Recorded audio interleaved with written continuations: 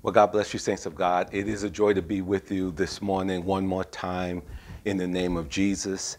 I thank and I praise God for all of you and for just taking the time out this morning to hear another word from the Lord. So I'm praying that uh, your week was a good week and that you're in good spirits and in good health. And most of all, that in the season that we're in, that you are staying safe. So we are praying for you uh, that the Lord will keep you. I know that you're praying for me, and I appreciate all of your prayers. So this week we want to continue. We started out the year of speaking about the rock and how important it is to have Christ, who is the rock, uh, in our lives. He is a necessity. We need Him with all the things that are going on, not only in the world, but even in our own personal lives that we need his stability in our life. We need that reassurance and that strength. So uh, we read uh, a couple of weeks ago from Matthew, and I'm going to read that uh, scripture to you really quickly again before we go into the, the heart of our lesson. And that is found in St. Matthew 7, verse uh, 24.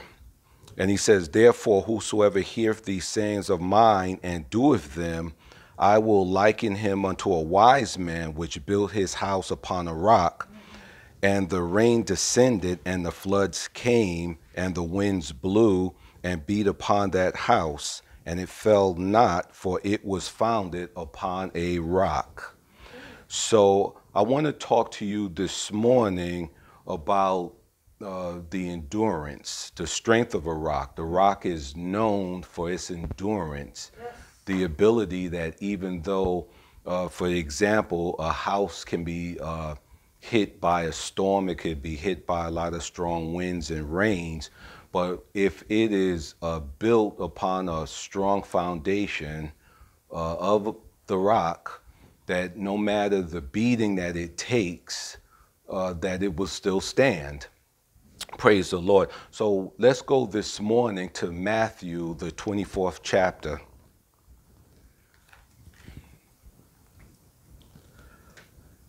Amen. And the 13th verse. Matthew 24, verse 13. And let's start at the 11th verse. And many false prophets shall rise and shall deceive many and because iniquity shall abound, the love of many shall wax cold. But he that endure unto the end, the same shall be saved. Let's read that again, verse 13. But he that shall endure, endure unto the end, the same shall be saved. And this is what we want to talk about this morning. We want to talk about endurance. Endurance.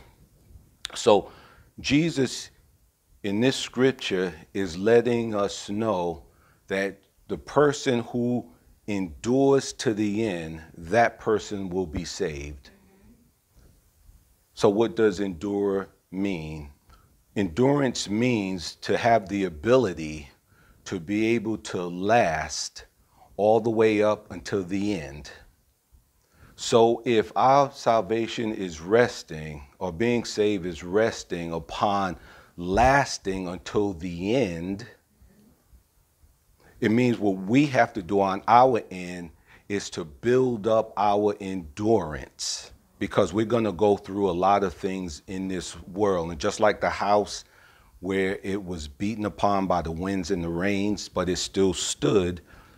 In order for us to endure or last to the end, despite all the other things that are going around, praise the Lord, that we have to build our endurance. We have to build our endurance to be able to last.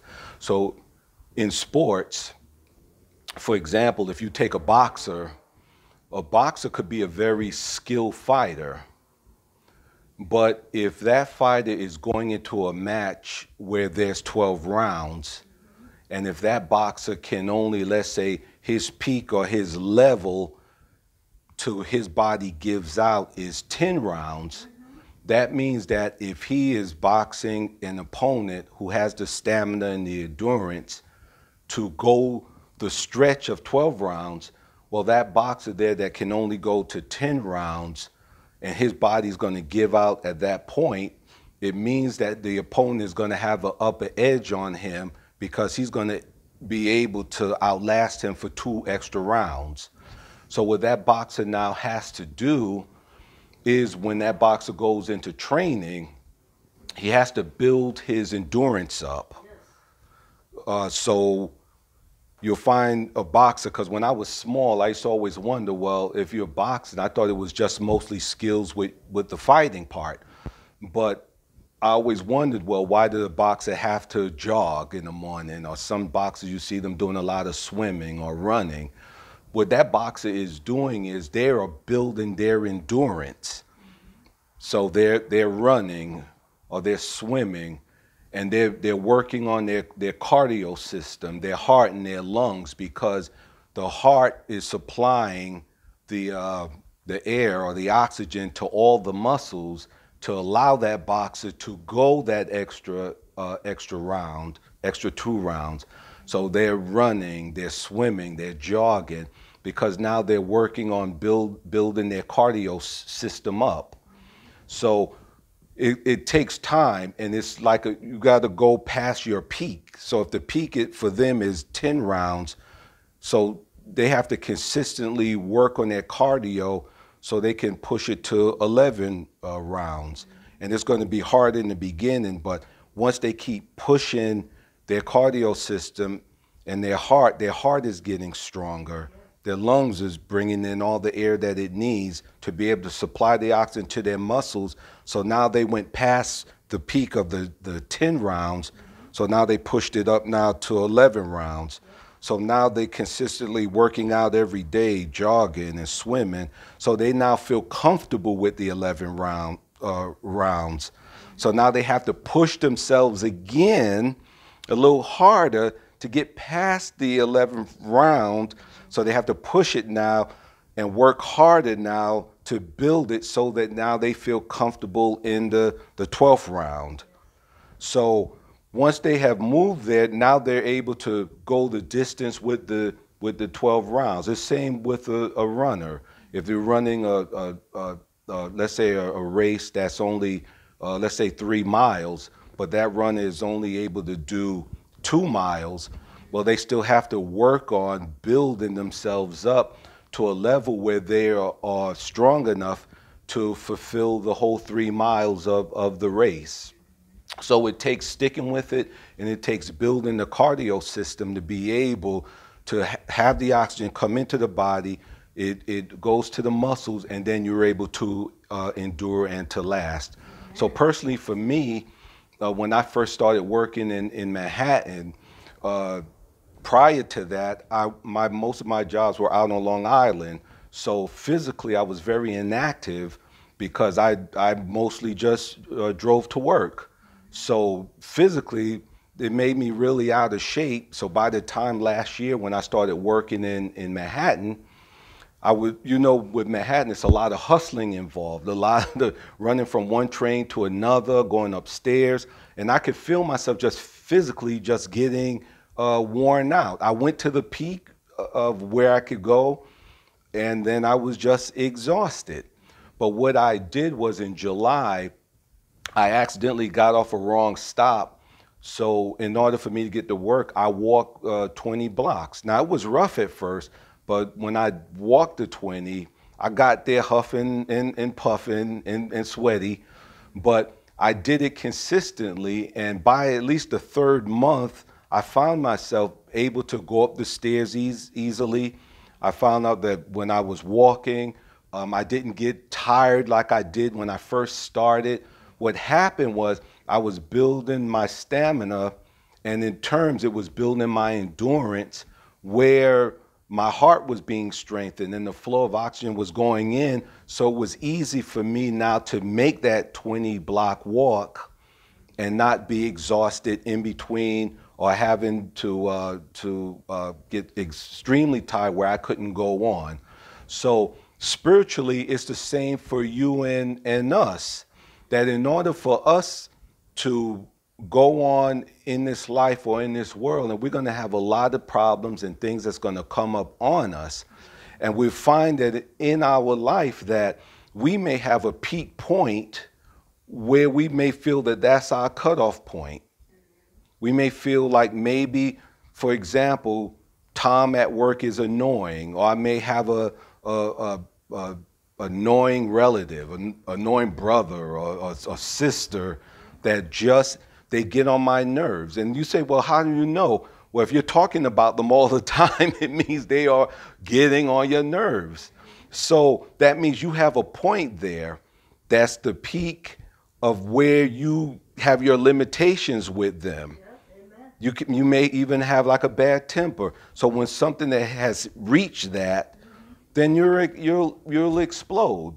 So what we have to do as saints of God is just naturally how the boxer or the runner gets to their, they know their peak point where they had enough and their body physically can't go on. They work on it to be able to develop it so you can go a little bit more and go a little bit more and then go a little bit more. And then you find yourself doing it and not realizing that those things that used to bother you, you find that they're not bothering you. Because what happened, you, you the Lord gave you strength. He strengthened you. Yes, yes, you. And He gave you the ability. You, you put in the work, and God supplied the strength and the power. So in Psalms 31,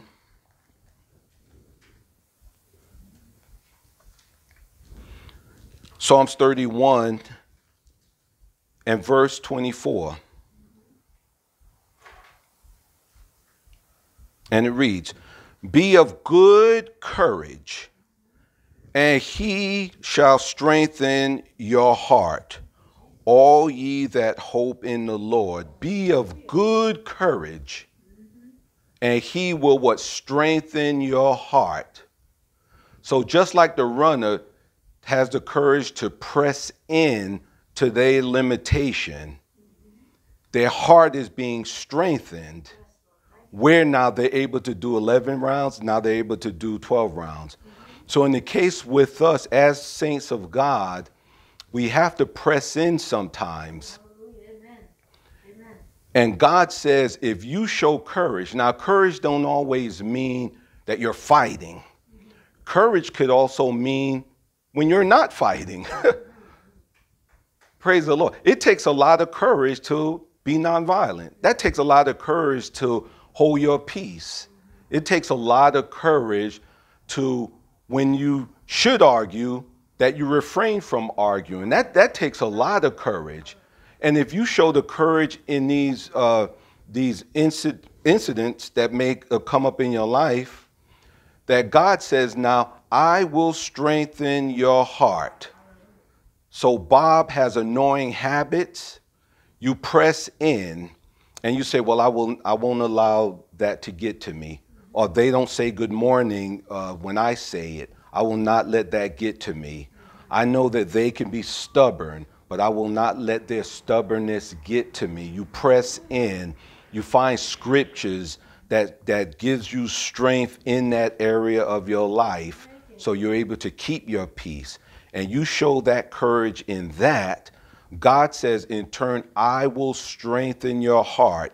And when your heart is strengthened, it supplies everything you need so you can go on. You could go on in peace, you could go on in love. You won't let things uh, get to you. You won't let people get to you. You won't let annoying habits get to you. You won't always be in a place of always conflict that you'll be in a place of peace because he said he'll strengthen your heart. Just like naturally so, the boxer's heart is being strengthened, where he now is building his stamina and supplying the oxygen that he can go on. Praise the Lord. Well, the Lord, he too strengthens our heart, where in turn it allow us as well to go on, where we won't let these things that, that would annoy us they don't bother us. See, now here's the thing with a boxer or a runner the boxer, his end point will be the 12 rounds. There is no 13 or 14. his end point, he knows is that. The runner, they know that, let's say if they're running a race for three miles, they know that three miles is it. That's the finishing point. But us as saints of God, we don't know the finishing point. He said, He who endures to the end. So your end may be five years from now. My end may be a year or, or uh, two years. Your, your end, somebody else's end may be they may have 10 more years here. So whatever your end is, that God constantly has to renew the strength. See, with a boxer, he knows that his limit was 12 rounds, so he worked himself up to 12 rounds. That was his peak point. That was when his body, after that, will give out. So he worked it to the peak of 12, 12 rounds. For us, there is no, we're working it for a year or we're working it for six months. We, we, we'd probably be here, who knows, a long time. We could be here for 10 more years. So, what do we do? So we have to constantly get our strength from the Lord. He constantly has to renew our strength. And in turn, when He renews our strength and He is strengthening our hearts, it is giving us now the ability to be able to go on and not get weary or we lose ground and we get discouraged. Praise the Lord. We always have to look to the Lord for that. So let's read the last uh, portion of Scripture, and that's in Isaiah. Isaiah 40.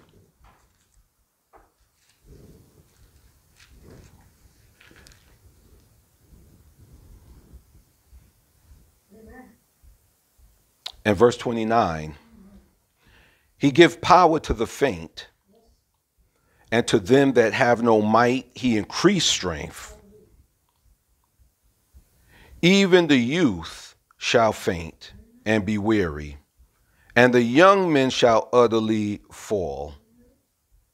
But they that wait upon the Lord shall renew their strength. They shall mount up with wings as eagles. They shall run and not be weary, and they shall walk and not faint. so, what God is speaking here about, He's speaking about endurance. Walk and not faint, that has nothing to do with your skill, that has to do with endurance. Run and not be weary, that has nothing to do with your skill. It has everything to do with enduring. Now, young people are known for their strength. Young people are known for their vitality, their stamina, that they can, they can go the extra mile, extra two miles. They don't have a lot of body uh, uh, fat on their frame that slows them down, that makes them sluggish or tired. They're very lean because they're very active. They're able to eat fast foods and burn it off quickly because they have a really high, metabol- uh, high metabolism. So, the, so young people have the strength to go on. They have that endurance.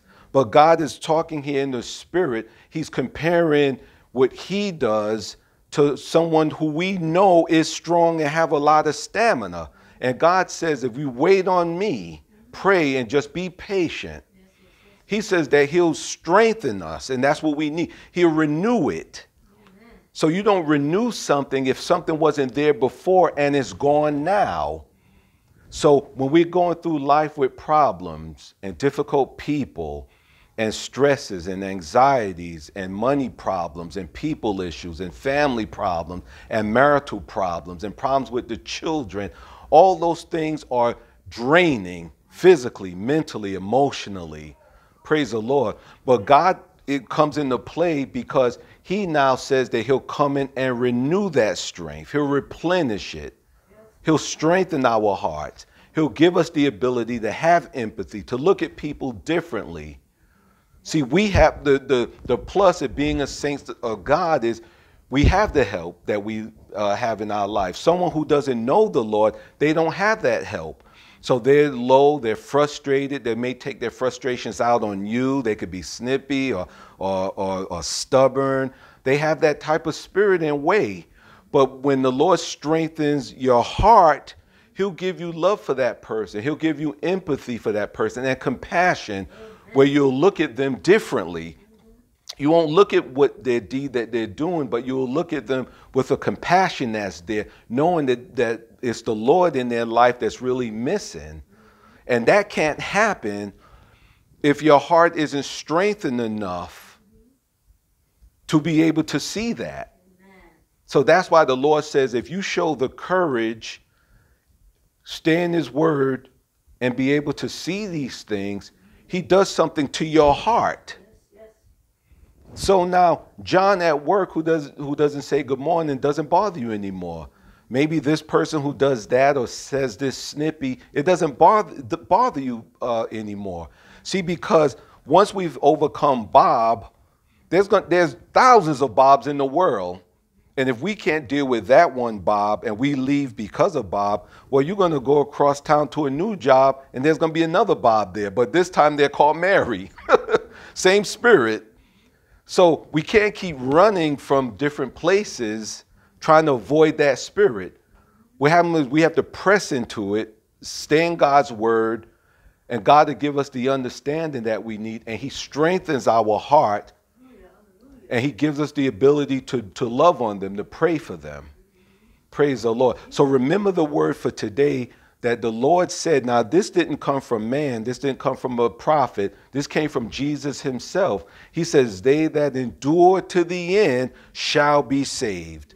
So if the Lord said it takes endurance, not skill, not how much you run the church, or not how much you do this or do that, or activities, it's, it's, he didn't say those things. He's not talking about your skill now. He's talking about to be able to last to your endpoint. That person will be saved. So that's what we have to focus on. If that came from Jesus, we have to focus on enduring so that we won't get weary and fall by the wayside. Praise the Lord. So I thank and I praise God for his word today, and I pray that the word was a blessing to you. So let's pray. Heavenly Father, in the name of Jesus, we thank and praise you for your word today. We thank you for being the rock in our life. You give us the stability that we need in our life, even when the world seems chaotic, it seems messy, it seems unstable. You give us, Lord God, the stability in our life, and we want to say thank you today. We thank you for being the rock in our life. And we praise you and we honor you just for being God. Lord God, I'm praying for those who have heard this word today. I don't know what's going on in their life. You know what's going on. Maybe they're going through some problems, some difficulties, some problems in their marriage, some problems, Lord God, maybe financially, even problems with their health. They're going back and forth to doctors and they just seem like they're not getting any answers. Maybe somebody just need a peace of mind. Somebody today may feel lonely they may not have family or even friends in their life that they could connect with, Lord. So, Father God, I'm praying for them right now that you would bless them, that you would let them realize that you love them, Lord God, that, that you came here and you died so that they can have peace in their life, they can have rest and stability. Father God, I'm praying for those. Somebody lost a loved one today, someone's in bereavement right now. I'm asking you to to touch them, Lord. Send a word of comfort to them and encourage them right now in your name, in the name of Jesus. Have mercy upon this, this government, Lord. Have mercy upon this nation. Father God, there's so much that's going on here, so much chaos, so much turmoil and hate, Lord. Where I'm asking you, Lord God, that you would touch hearts, touch minds, break that spirit, Lord, of confusion, break that spirit of hate, Lord off of them in your name, in the name of Jesus. I'm praying for the new administration that's coming in, Lord, that you would bless them, give them wisdom to lead. We need that today, Lord. We need it in our homes. We need that in our communities. We need that in our neighborhoods. We need it, Lord God. We need you, Lord. We need you in our life. So, Father God, we pray this prayer, Lord, in your name, in the name of Jesus. In Jesus' name we pray. Amen. Praise the Lord. So God bless you. I thank God for you. And remember to walk in the victory of God and remember that the Lord is our rock. Hallelujah. So stay encouraged. God bless you.